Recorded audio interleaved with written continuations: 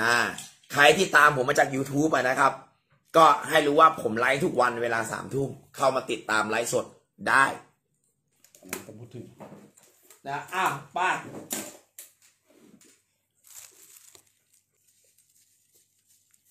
อันนี้เนื้อสำลิดเลยนั่นเข้มปึ๊กเลยคือต้องบอกว่า พอเวลา เนื้อโลหะสมัยก่อนก็เหมือนเหรียญสตางค์รูที่ให้ดูเมื่อกี้อะ เขาเป็นทองแดงที่ทิ้งไว้นานๆจะกลับเป็นสำริดแบบเนี้ยครับอืมอันนี้ทองสั่งทำอย่างดีไอ้ทอลงยามือชาวบ้านเหรอมั้งอย่างเงี้ยคือทองอะไม่ต้องนับ แต่เหรียญอะสภาพเนี้ยประเมินค่าไม่ได้แน่นอนนะดูดินะครับ พอหัวไว้กลางวังเย็น ครับเจ๊นกนะฮะต้องบอกว่าถ้าพูดถึงเหรียญแบบเนี้ยนะ ผมไล่มาเลยที่ที่ครอบครองเหรียญผมไปแล้วผมคิดถึงอะนะพี่อิทธิพลอันนี้แชมเปี้ยนนะนั่นแชมเปี้ยนอยู่แล้วพี่ซื้อสวยจบแพงไม่ว่า ใครซื้อแสนพี่ซื้อเจ็ดแสนคือถ้าพูดถึงเหรียญรับรีสวยๆนะมาก็พี่รักจันทร์พี่รักจันทร์อ่าพี่พีพีก็เยอะ พี่มีนก็เยอะ อ่า พี่มีนเนี่ยก็เยอะพี่ลิทธิลงนี่ต้องบอกเลยเพ่อแทนสวยๆอยู่กับพี่เขาเกือบหมด เนื้อเงินก็อยู่ที่พี่เขานะครับ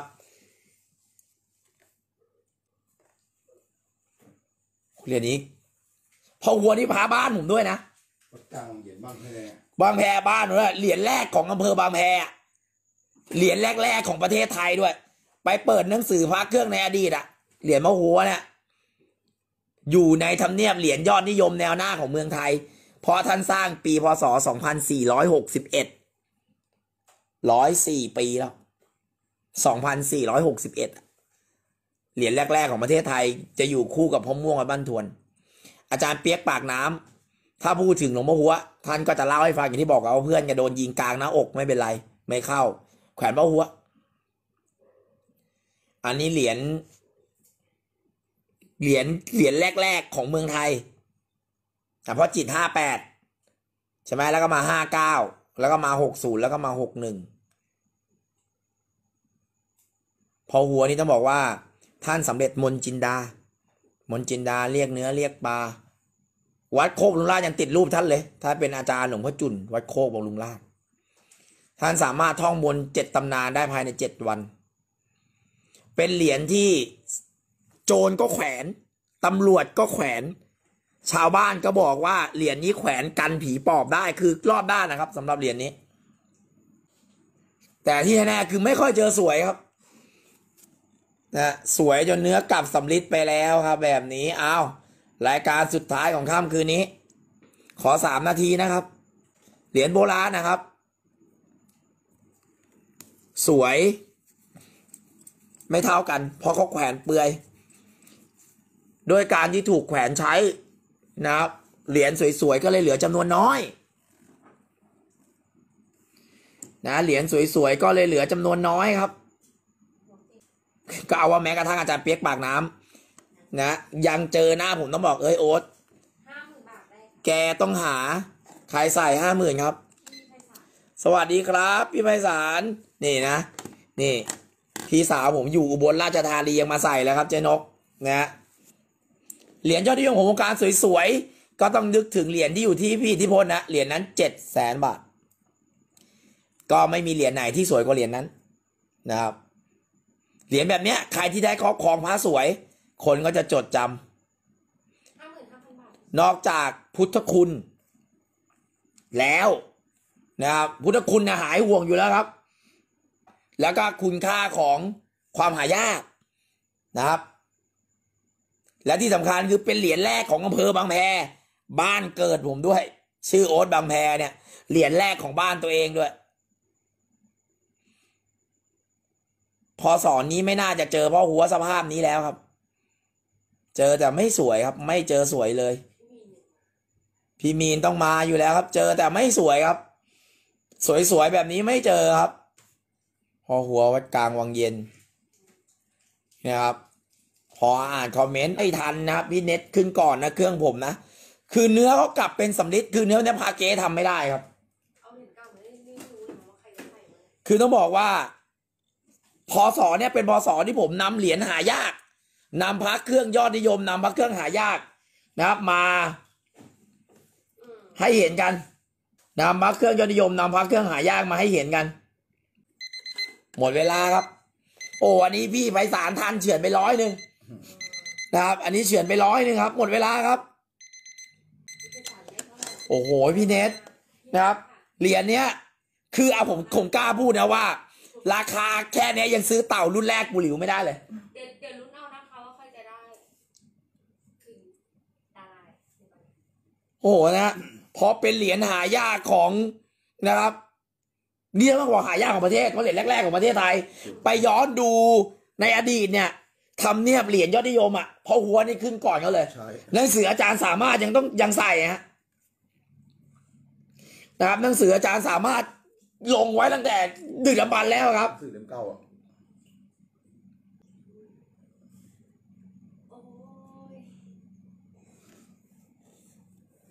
ผมมีเหรียญสวย ผมก็ยังซื้อเป็นแสนนะ เหรียญนั้นนะผมจำได้ว่าเฮ้ยพี่อดิเทพก็เยอะนะแกใช่ไหมมีคนหนึ่งอะเอ้ยพี่อดิเทพไม่ไม่ไม่ไม่ไม่ไม่ค่อยเห็นละพี่อดิเทพ เป็นลูกค้าท่านหนึ่งที่ ประมูลมาหัวหมดในราคาแสนกว่าบาท แต่ผมบอกว่าแล้วเขาก็ประมูลเพราะท่านเจ้ามาเนื้อเงินเราไป ไม่ใช่เนื้อเงินเนื้อสำลิดแล้วเธอรู้เปล่าว่ารายการนี้ไม่ได้ใครได้พี่สสพี่สสนัดได้ครับ ใช่ผมบอกเลยว่า แล้วผมก็เลยขอว่า ถ้าแล้วแล้วประมูลท่านเจ้ามาเราไปได้ถูก เราก็เลยบอกว่าถ้าพี่ได้ท่านเจ้ามา ผมขอ ให้พี่ไม่เอาพ่อหัวได้ไหมนะแกก็ให้พ่อหัวผมไว้ นั่นแหละครับ คือเป็นเหรียญแรกของบ้านผมอะเนี่ย ผมตัดตลับดูตลับทองนี่ผมตัดตลับใส่ไว้หมดอะ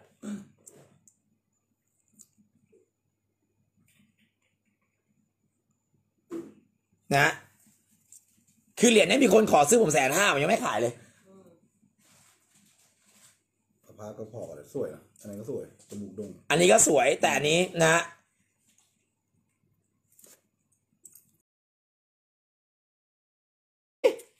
คือของที่ได้มาใหม่ จัดแบ่งให้แฟนเพจได้ไม่เป็นไร พอห้องช่องลม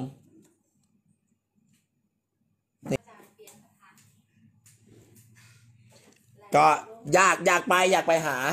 อาจารย์เปียกอยู่เหมือนกันนะครับ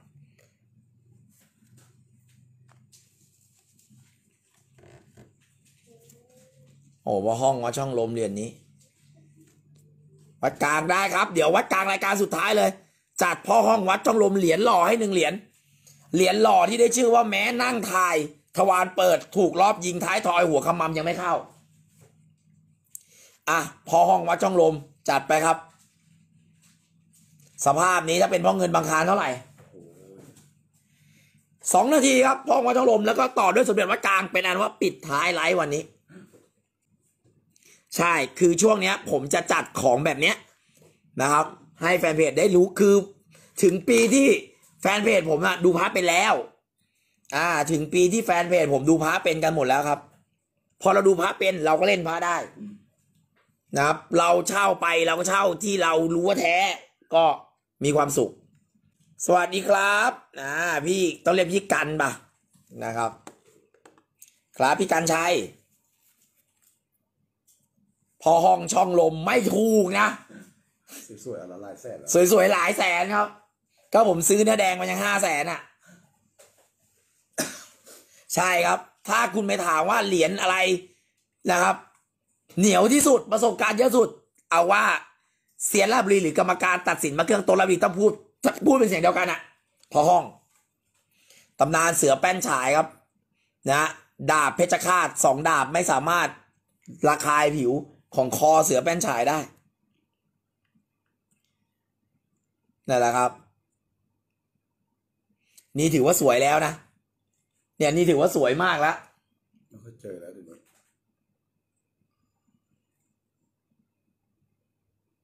อือหือพอห้องเรียนนี้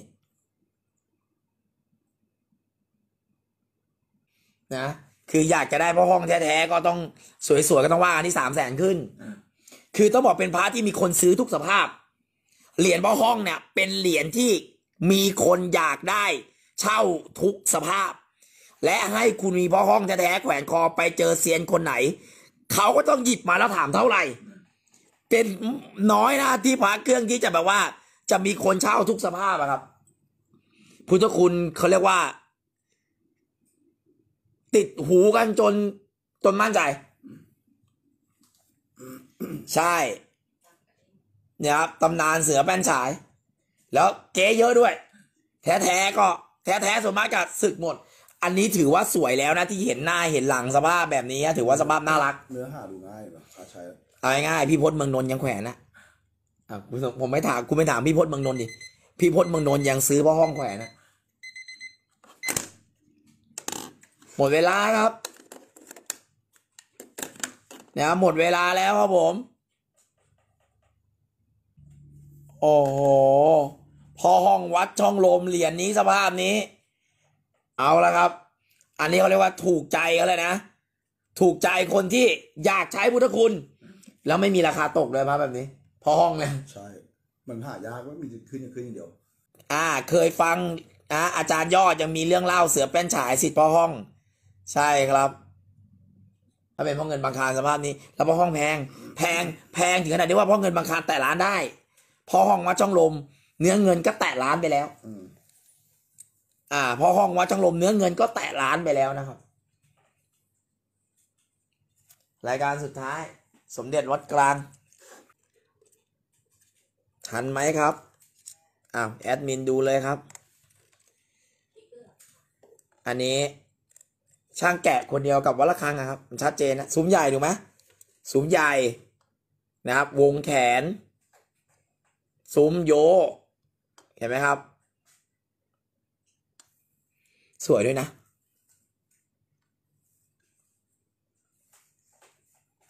เนี่ยฮะ ใครมีสมเด็จวัดกลางแล้วสภาพสมบูรณ์สมบูรณ์อะ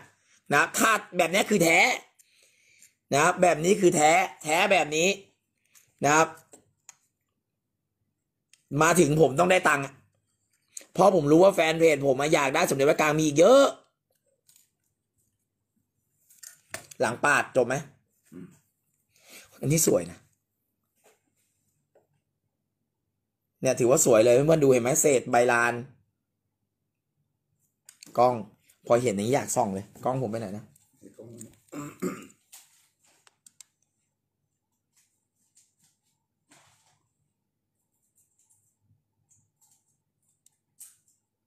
ดูง่ายถ้าวัดกลางแบบนี้คือ เห็นไหมครับ แท้กับต่างกับเก๊แบบ มองตาเปล่าก็แยกได้ สมเด็จวัดกลางกดก้าวกดหัวใจ กดตบมือกดอะไรให้ผมหน่อย นะแอดมินผมต้องรับโทรศัพท์กับการที่บอกให้ผมแบ่งสมเด็จวัดกลาง แล้วผมก็พูดเสมอว่าให้ผมขายวัดละคังกับขายวัดกลางผมเลือกขายวัดละคังเพราะวัดกลางเป็นสมเด็จประจำจังหวัดราชบุรีประวัติชัดเจนครับว่าสมเด็จโตพรมรังสีท่านได้สร้าง นะไว้ที่วัดกลางคลองข่อยราบุรี ไม่พูดอะไรเยอะแล้วครับสามนาที เมื่อแฟนเพจผมนะ อยากได้ สภาพสวยสมบูรณ์ สมบูรณ์มากๆเลยองค์นี้จัดให้ครับ ต้องบอกครับว่า แขวนพระผงสมเด็จพระจารย์โตพรหมรังสี แค่ขนาดเท่าเมล็ดถั่วเขียว ชีวิตก็สูงส่งแล้ว ต้องเสียตังค์เป็นล้านหลายหลายๆล้าน จึงจะมีวาสนาได้แขวน พระวัดกลางมีคำพูดว่า ใครที่เก็บวัดกลาง ไม่ถ้าพูดถึงเก่งกำไรอะ มันไม่ใช่หลักแสนนะมันคือบ้านหลังรถคันนะครับ ก็คือกำไรจากสมเด็จวัดกลาง เป็นพระสมเด็จโตนะครับ ซึ่งจริง ๆ แล้วประวัติชัดเจนแบบนี้ก็คือ แน่นอนครับก็ต้ององค์เป็นล้านในอนาคต ไม่ดูตัวเลขไม่ดูหน้าจอขอกดเวลาดีฟ่า อะสามนาทีผมเริ่มกดเวลาช้าไปหน่อยหนึ่งไม่ว่ากันใจหายอยู่นะครับ เจ้าของเขาตัดตลับฝั่งพลอยไว้ให้ด้วยนะนะเจ้าของตัดตลับฝั่งพลอยองค์นี้สวยครับ สวยมาก ผมใช้คำว่าสวยมากเลยแหละ เพราะไม่ไม่บินอะ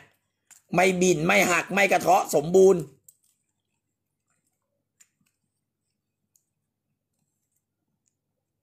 เห็นไหมฮะ ช่างแกะพิมพ์คนเดียวกับวัดละครังเด็กองค์นี้สวยจริงนะเดิมๆเลยใช่ อันนี้คือพิมพ์ใหญ่ของจริงเลย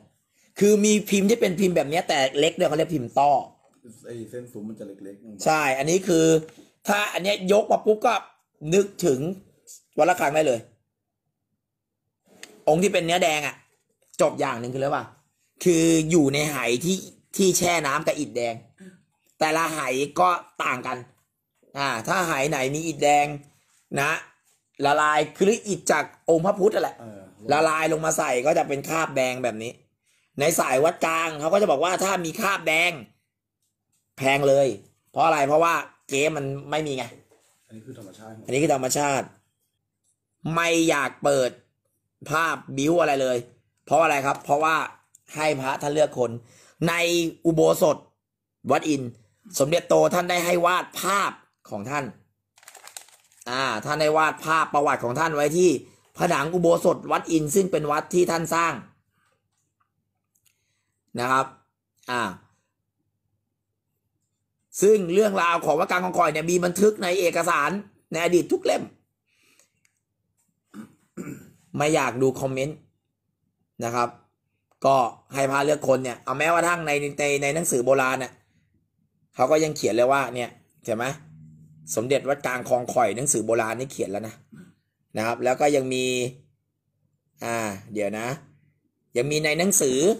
ปกินนกะเนี่ยที่เขียนเนี่ยลายแทงสมเด็จวัดระฆังเนี่ยก็มีเนี่ยพระพุทธรูปยืนวัดกลางคลองคอยนะครับ เนี่ยภาพวาดในโบสถ์วัดอินนะครับ เนี่ยพระยืนวัดกลางคลองคอยเนี่ยแล้วก็เขียนด้วยว่าตอนเริ่มก่อสร้างสร้างยังไงสมเด็จโตสั่งให้วาดภาพไว้ เป็นประวัติ เป็นประวัติของท่านนะว่าท่านได้ทำสมเด็จใส่ไว้ แม้กระทั่งอ่าอันนี้ เจ้าคุณเที่ยงสร้างสมเด็จ ท่านก็ได้เขียนว่าเอาผงมาจากที่ไหนบ้างวัดระฆังบางกุมพรมวัดสตือ วัดเกตชัยโยและวัดกลางคลองคอย นี่เป็นสิ่งที่ยืนยันว่าสมเด็จวัดกลางคลองคอย สมเด็จพระเจ้าโตสร้างไว้ แล้วมีในบันทึกในอดีตเป็นหนึ่งในนั้นแหละนะครับ ก็มี YouTube สมเด็จวัดกลางอยู่ก็ไปดูเอาย้อนกลับมาดูตัวเลขนะหมดเวลาแล้วใครเป็นเจ้าของ โอ้โหนะ ต้องบอกว่า ราคาที่ใส่อยู่นี่นะฮะองค์นี้สวยไม่บินไม่กระเทาะนะครับ อือหือ องค์นี้สวย ไม่บินไม่กระเทาะครับ ใครจะได้ครอบครอง ใครจะได้เป็นเจ้าของก็ นะฮะไม่ต้องเสียเป็นล้านนะครับ อือหือใครเป็นเจ้าของครับ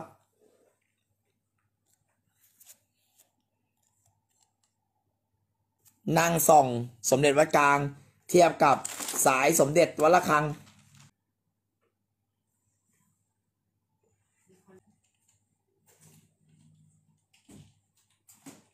ผมคิดว่าตรงนี้พาเลือกคนแน่ๆฮะ